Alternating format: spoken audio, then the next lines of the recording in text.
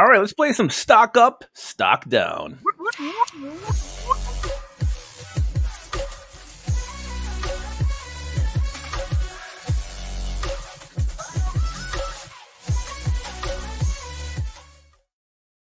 right, welcome back to the One Bar and Lupagus Show. I'm Lupagus here with One Bar. Uh, Vikings' first preseason game is in the books. Uh, first preseason game of the 2023 season. The Vikings dropped that game 24 to 13 to the Seahawks, dropping Kevin O'Connell's record 0 4 in the preseason. This time, Yeah. But that regular season record is so beautiful. Who gives a shit? Let's go.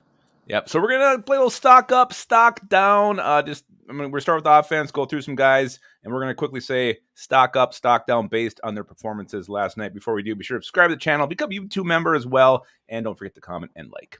All right, you ready, one bar? Let's go. Let's go, baby. All right, let's start. Quarterback Jaren Hall, stock up, stock down. It's a tough one. I mean, after that, he had some very good early practices. We got very excited, but then he came back to life uh, in practice. So his stock really wasn't that high. Uh, I would guess I would say stock down, but I will say this. He looked like a seasoned vet back there. He does not seem like a guy that's going to get rattled. He didn't play very good, but he was commanding the, the huddle. He wasn't getting rattled. He was rolling on, was getting rid of the ball. So I uh, give him some props for that. Well, and his old line in front of him was horseshit. Um, he had no time, but he did wisely throw the ball out of bounds. He, he would uh, scramble right, scramble left, get that thing out of bounds. Uh, but, but stock down, stock down for Jaren Hall. Uh, not really his fault either, but he got to. All right, let's go to Ty Chandler, running back. Ty Chandler. Easy stock up. Uh, he just solidified what he did last preseason, even looked better. Again, the offensive line was not fantastic, but uh, he's the number two for sure. It's easy. Shut Yeah, that you- guy down for the rest of the preseason. You said it. He looked amazing last night. Vision, uh, power, everything, receiving, blocking. It was all there. Ty Chandler, stud. Uh, DeWayne McBride, stock up, stock down. Our seventh round running back. I'll let you go first. Uh, it's stock down, way down for me. This was the most disappointing performance of the night. He ran scared. There was times where he actually turned his body when contact was coming at him. I was 100% completely wrong on this guy. He looked nothing like the back that we saw at UAB. Uh, decisive, powerful, hitting the holes. He looked scared last night, and it showed. Yeah, I can't say stock down. His stock was always down for me, so uh, just solidified it, I guess. Yeah, I don't. I don't I'm not giving he- up on him. I'm not giving, but you're seeing we are seeing comments from some of the writers saying practice squad over the last couple, and he's probably going to be a practice squatter. The, Well, the dream uh, of him being a thousand yard rusher is, as a rookie is over. Abram Smith, we signed last week. It looked like had a more prominent role and looked more ready than DeWayne McBride, who's been there since day one. So very disappointing. I was very disappointed in DeWayne McBride, but who I was not disappointed in, spoiler, alert, wide receiver Jaden Jordan Addison, stock up or stock down. Just, I mean, his stock was up, so he, he had a good he had a good game. That catch was fantastic. They didn't even want to bother to challenge it, but he, he looked really, really, really good. He did. He looked great. I'm so excited to see him moving forward. Uh, we got something special there with Jordan Addison. That's for damn sure. KLC, Mm, throw the flag on that thing. Challenge it. What, what are you doing here? What are you doing? I'm glad he didn't. It's preseason. Move that game along. All right. Another wide receiver, Jalen Reagor. stock way up, way, way, way, way up. Not only because his stats and he had some good plays, he was telling people where to go out there. I mean, his big thing last year was he didn't know what to do, and his, his route running sucked ass. He was helping some of those younger guys. Stock way up. Yeah, we've been rude to Jalen Reagor, but he had a good uh, preseason game. He's got to string more of these together to make this roster, but that was a great first step for him.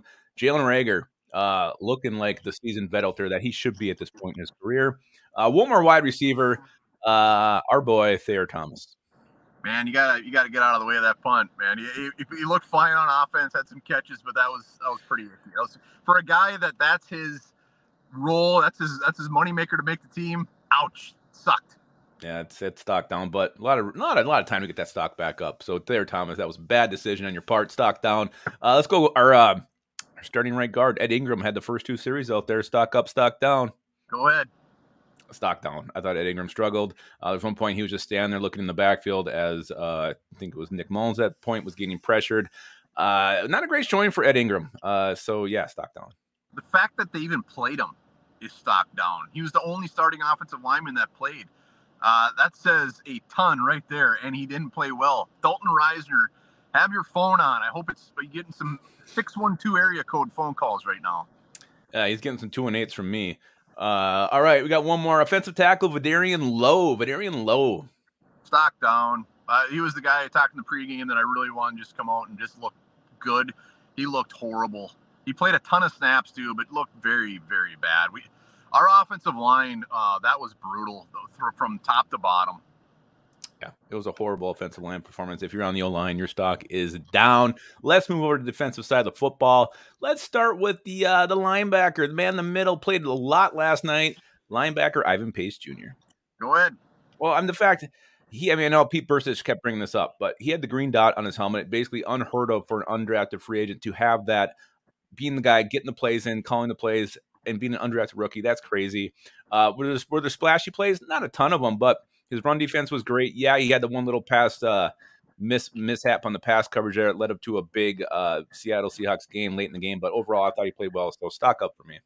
Yeah, I mean his stock was about as high as it could get. So he just again, he, it's a great game. The best part about it was. I don't remember who tweeted it out. Was his big thing in college was he was always around the ball, and that's what he, he again he was mm-hmm. always around the ball. He was hitting hard, uh, looked fantastic. Yeah, and I thought he just played with the confidence. I mean, he looked calm and, and collected, balls, and like man. What was that?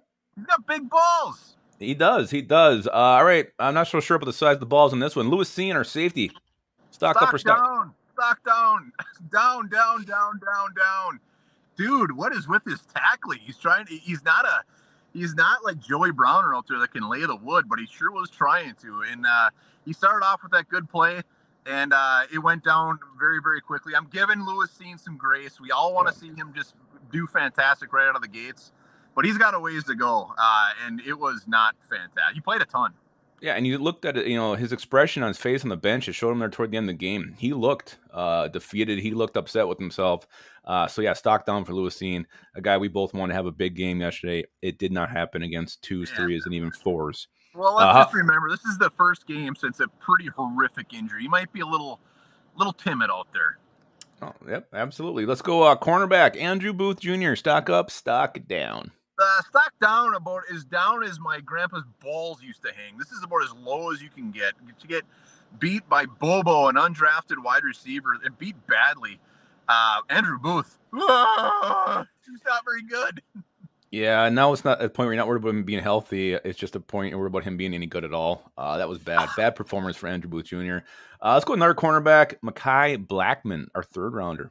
Ah, you go first. Yeah, you know, I'm gonna say stock up. I mean, he had a good game. He had a, that one play where they got the touch on him. He actually got flagged for. The coverage was sticky. It was probably too sticky, but that is his mo. Mm. But uh, overall, I thought he had a pretty solid game. His coverage was good. I think he was in on some tackles too. So I was pretty happy with Mekhi Blackmon's performance.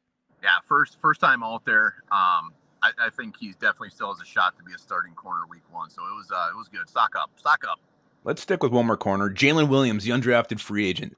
Fuck, you got a pick, man. He looked good. He looked good. Stock up. Hell yeah, hell yeah. Those uh, bottom feeding corners, he's definitely uh, one of my favorites. Let's go to one more defensive player, outside linebacker Luiji Vilain. This one should be easy. Stock up uh, for me, no doubt way up easy. If you're watching the game, this is an easy one. One another guy I want to throw out there is Joejuan Williams. I thought played yeah, uh, very very did. good. Stock stock up for me on that.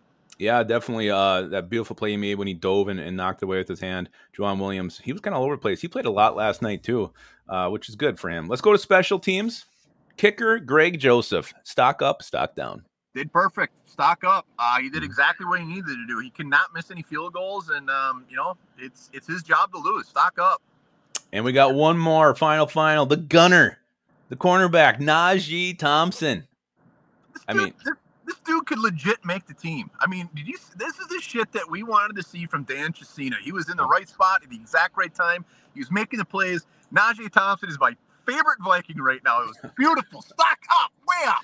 Yeah, he was uh, he was getting a lot of love in the live last night as well. I don't know if he ever got any stud of the games, but he was right in the in the uh, mix. But I, what I wrote to you earlier today, that was some of the best uh, gunner work I've seen. I mean, it was perfect. The timing was perfect, not just on the hit he had, but also when he downed the punt. I mean, the dude gets it. That is his thing. And Najee Thompson, I, I know it's one game, but I really think he's going to make this team too.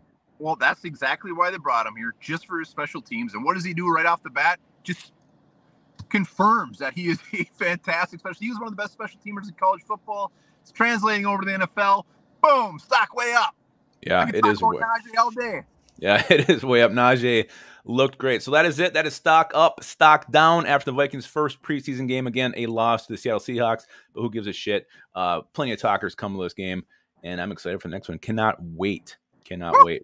One bar, you travel safe. Hope you get where you're going with uh, minimal, minimal delays. Uh, yeah, I'm already here, and I'm driving through Superior this morning. There's nothing better at 7:15 in the morning to see Superior Schultz's bar packed. packed. Just packed. And I want you to know before we end this video, your lisp is back and in full effect, and I love it. And also, guys, remember this: a bit of toothpaste can successfully fix a scratched cell phone screen.